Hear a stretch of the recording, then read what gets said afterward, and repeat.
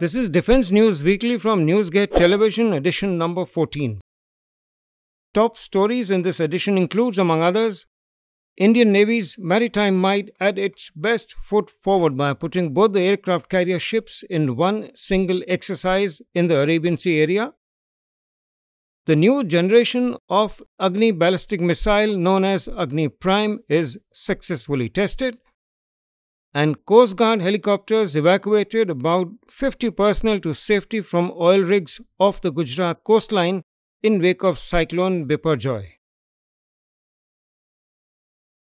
The week gone by saw one of the most ambitious exercise undertaken by Indian Navy by putting up both the aircraft carrier ships namely INS Vikrant and INS Vikramaditya at one single operation along with a retinue of 35 aircrafts. The spectacular operation took place somewhere in the Arabian Sea area.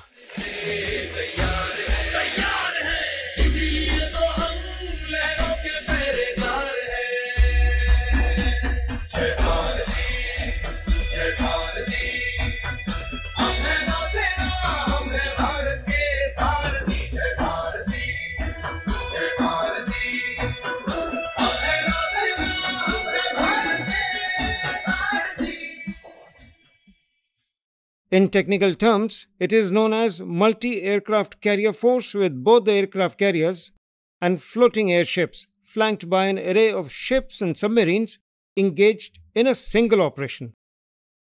According to officials of the Ministry of Defense, both Vikrant and Vikramaditya carried MiG 29Ks as their main fighter jets, along with recently acquired MH 60 Romeo helicopters. There was also traditional deployment of Kamov and Sea King helicopters along with Chetaks and the ALHs, the Advanced Light Helicopters. In a statement issued by Navy, it stated that the successful demonstration of two carrier battle group operations serves as a powerful testament to the pivotal role of sea based air power in maintaining maritime superiority. As India continues to strengthen its security apparatus, significance of aircraft carriers will remain paramount in shaping the nation's defense strategy and promoting regional stability, the Navy statement added. The week gone by also saw another big time operations by Indian Navy when it conducted an underwater test of a heavy weight torpedo. A spokesperson for the Navy said this detonation of a big sized torpedo was made in India weapon by the DRDO, and such delivery of ordnance hitting the target with precision and accuracy demonstrates just one thing that Indian Navy is future proof and combat ready at all times. For the Indian Navy's requirement, the floating barges are one of the key elements that constitute how well warships, and other military flotilla can be served at far places in the sea, including at the jetties and at the harbor. In this endeavor, Navy received its newest torpedo cum missile barge manufactured by an Indian private player. According to a statement issued by the MOD, the Navy received its first barge under the series LSAM 15, constructed by Messrs. Suryadipta Projects Private Limited. Last week, news also came that Indian Army has decided to modernize its LAN radio network in collaboration with an Indian private player who is a part of IDEX program.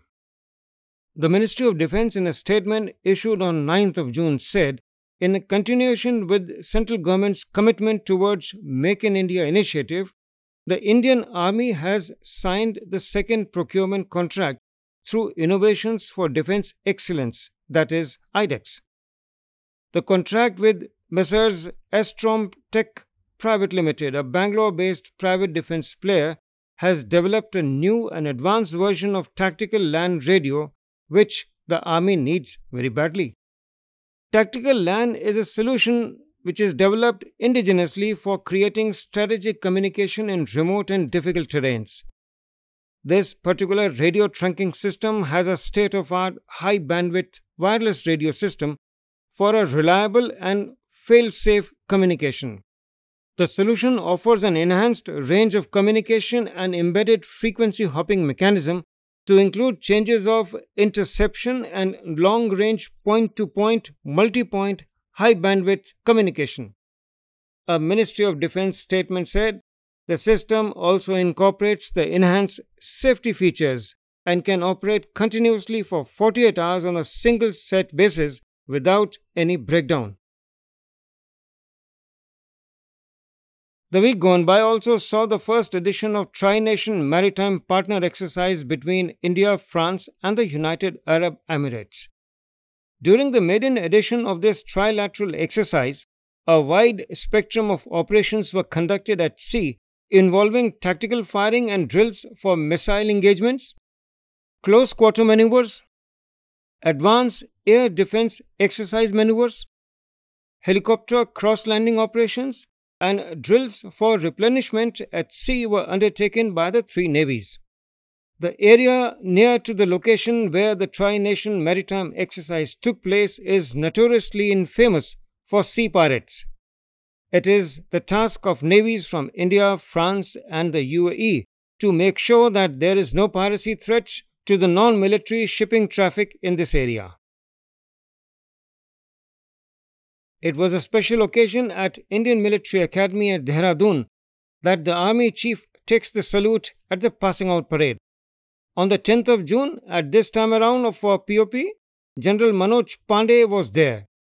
A total of 374 gentlemen cadets of the 152nd regular course and 135th technical graduate course, including 42 gentlemen cadets from seven friendly foreign countries, successfully passed out from in front of the Chetwood building at the IMA. The POP marks the culmination of rigorous training at IMA, a premier institution imparting training in leadership, self discipline, and in the art of war.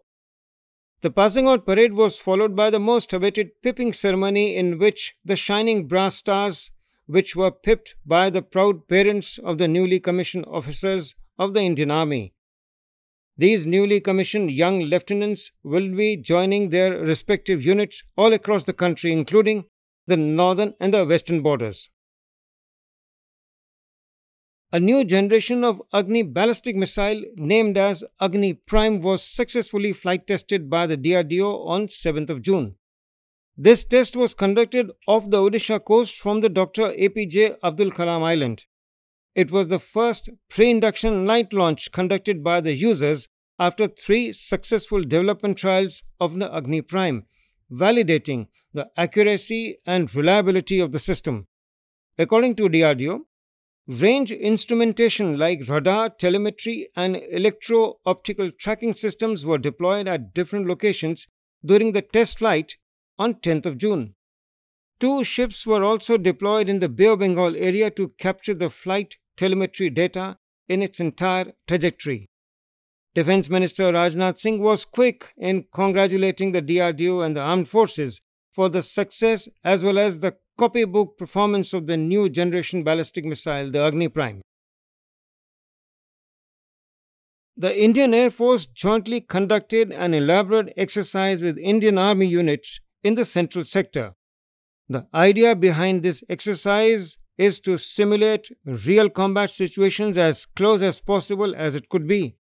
As seen in the declassified reels, the joint exercise involved a variety of air assets with ground combat units, mechanized infantry units, and state of art communication linkages being put into combat mode.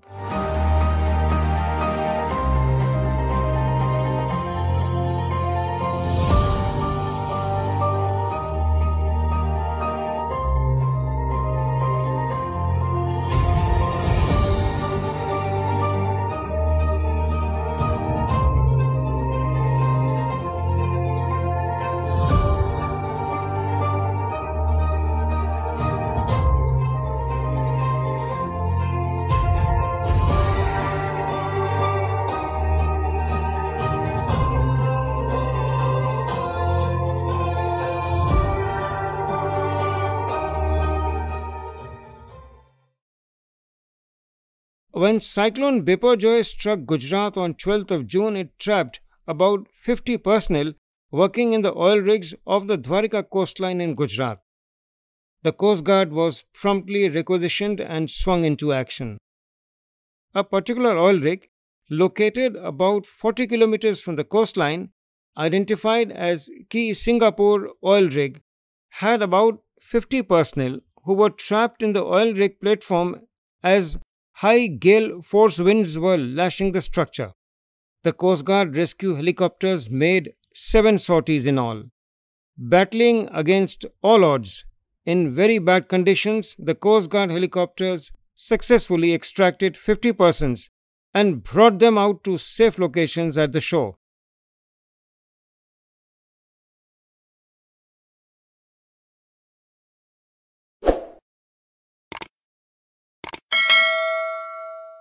With this, we come to the end of this edition of Defense News Weekly, powered by Newsgate Television.